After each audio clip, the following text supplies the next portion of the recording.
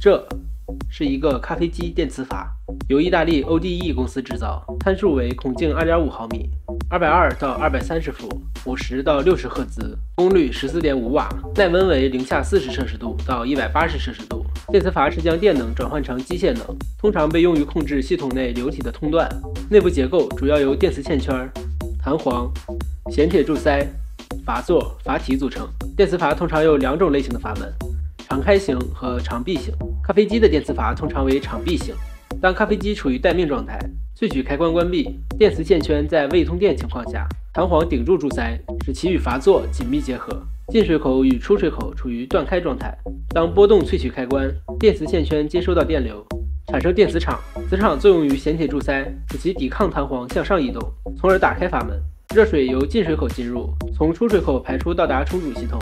由于线圈的中心磁力线最紧凑，因此最强，所以长臂型电磁阀通常将柱塞放于中心位置。关闭萃取开关，电流停止，磁场消失，弹簧再次迫使柱塞向下，关闭阀门，阻断水流。这就是咖啡机电磁阀。